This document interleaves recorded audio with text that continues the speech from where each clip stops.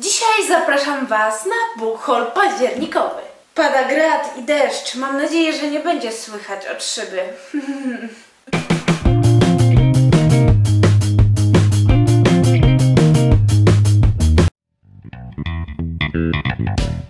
Zacznę od książki, którą dorwałam w Biedronce na wyprzedaży. I tą książką jest pozycja naprawdę niesamowita i jedyna w swoim rodzaju. Tak mi się wydaje. I jest to 7 listów z Paryża Samanty Veron. Chyba tak się to czyta. Myślicie sobie, o, jakieś romansidło, to tu oczywiście jest to romansidło, jak najbardziej. Można by pomyśleć, że sztampowe i nieciekawe, ale nie. Ta historia jest biografią, czyli jest historią opartą na faktach. Jest to romans oparty na faktach. Jest to piękna obyczajówka, naprawdę. Nasza główna bohaterka Samantha w roku 1989 poznała mężczyznę na wakacjach w Paryżu i on jej wysłał 7 pięknych listów miłosnych, ale ona nigdy nie odpowiedziała, ponieważ no, bała się, nie chciała, nie odpowiedziała. Po 20 latach, gdy już skończyła 40 lat, odpisała w końcu na te listy. I możecie się domyślić zakończenia, skoro powstała historia.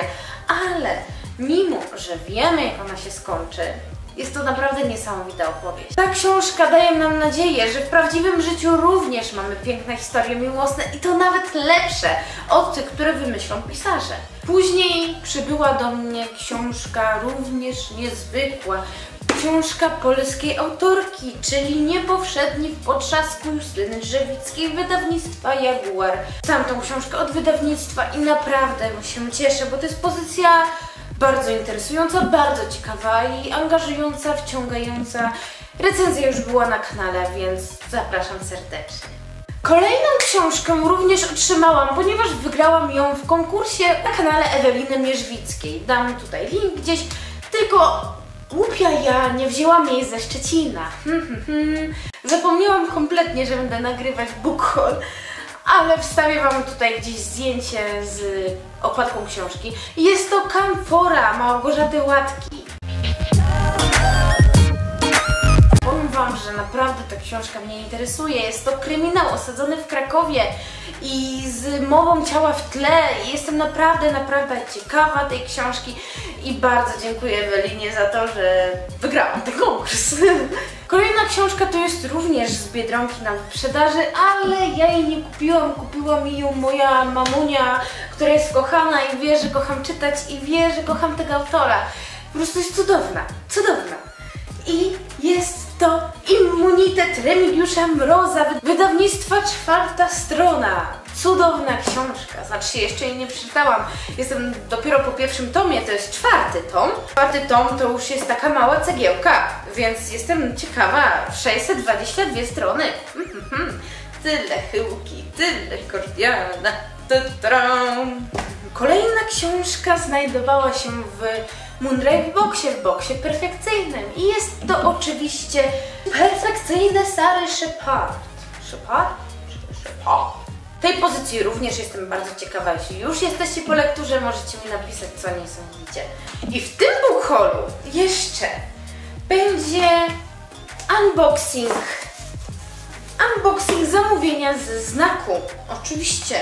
Powiem Wam, że znak ma naprawdę ciekawe promocje i ta paczka jest promocja 4 książki za 35 zł, czyli wychodziło około 8 zł z kawałkiem za jedną pozycję.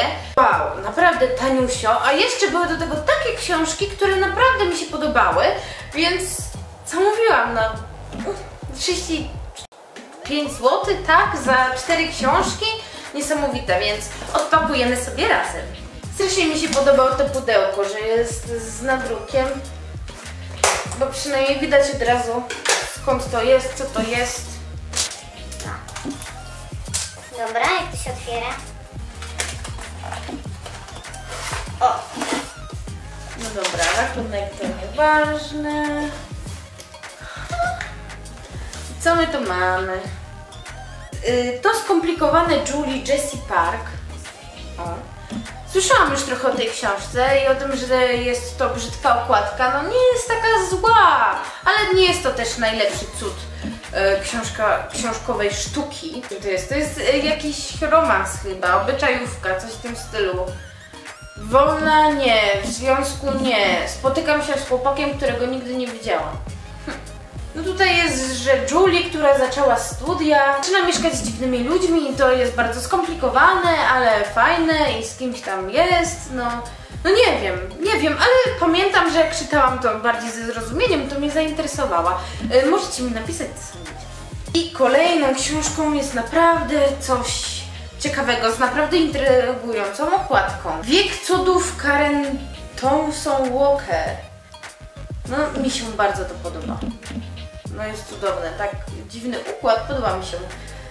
Choć słońce nigdy nie świeciło równo mocno i jasno, na ziemi trwało całkowicie zaćmienie uczuć. O, jest w przygotowaniu film na podstawie tej książki. Skoro film wychodzi, to na pewno go obejrzę, ale najpierw chciałabym przeczytać to. Jeśli dobrze pamiętam, to jest, że czas już nie jest nic warty na Ziemi, ponieważ Ziemia zaczęła wariować. E, Wschody i zachody słońca są w dziwnych porach, doba już nie trwa ile trwała. No i to jest chyba taka dystopia. Jestem bardzo ciekawa, co to jest. I to jest debiut właśnie tej autorki. No, ciekawe, ciekawe, naprawdę ciekawe. Sama książka kosztuje 35 zł, a ja mam 4 w tej cenie. I kolejna książka, a raczej dwie książki, ponieważ zamówiłam pierwszy i drugi tom. Są to książki wydawnictwa otwartego i jest to unicestwienie i ujarzmienie Jeffa Vandermeera. E, I tutaj zielona pierwszy tom, czerwona drugi tom. No, jest różnica w grubości między pierwszym i drugim tomem, ale opinie są naprawdę Opinie są naprawdę interesujące o tych książkach, ciekawe. Wydawnictwo otwarte, czyli no musi być to coś ciekawego. Ale to jest science fiction i to jest właśnie o tym, że istnieje strefa X, strefa niezbadana przez ludzi, chyba wcześniej skażona, porzucona, coś w tym stylu. I w pierwszej części poznajemy grupę kobiet, które udają się właśnie po to do strefy X, żeby ją zbadać a w tej książce wysyłają chyba samych mężczyzn albo jednego mężczyznę na tą strefę X. Więc to jest historia o strefie X i o tym świecie niż o jakimś konkretnym bohaterze, tak mi się wydaje, ale historia naprawdę wydaje mi się być interesująca. Poza tym opinie były naprawdę pozytywne. I jeszcze do tego to, jak wydane są tą książki, to jest naprawdę cudowne, bo mamy oczywiście okładki zintegrowane, ale w środku mamy cudowne rzeczy, piękne ilustracje na temat każdej tak jakby części książki, która ma swój tytuł. Są też ilustracje, na przykład tutaj jest drugi, druga część integracja, integracja. No cudowne, naprawdę cudowne. A tutaj mamy taką na przykład. Ale oj, oj, oj, już mam prawie. E, no powiem Wam tak, że grzbiet będzie się łamał. Jest tak sklejona książka, że nie da rady jej przeczytać bez łamania grzbietu. No mi to nie przeszkadza, ale jak komuś przeszkadza, to niech uważa.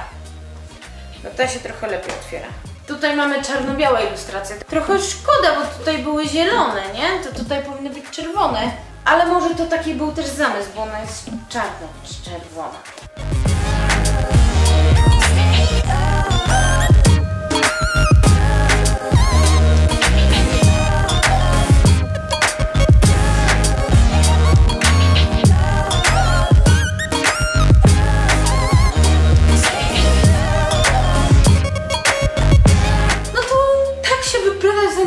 Mój stosik. 9 książek w październiku, chociaż nie wszystkie, bo trzy dostałam. Jedną z konkursu, jedną od wydawnictwa, a jedną od mamy.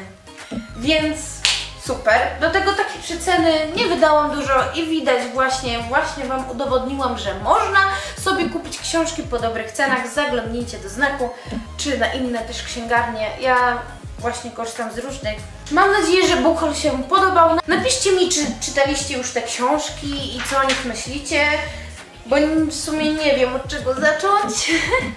Jeszcze mam książki z poprzednich miesięcy, no, ale zobaczymy. Napiszcie też, czy, czy wy chcielibyście te książki przeczytać i w ogóle wiecie co robić. No cóż, mam nadzieję, że się podobało, no i zapraszam do kolejnego filmu. Dziękuję wszystko i bajka! Mieszka z dziwnymi współlokatorami. Mie zaczęła mieszkać z. Zaczęła mieszkać ze współlako... Wydawnictwo. Ojej. No to cóż. Jeff Won Wondermana. Mera. Jeffa Wondermera. Jeśli dobrze czytam.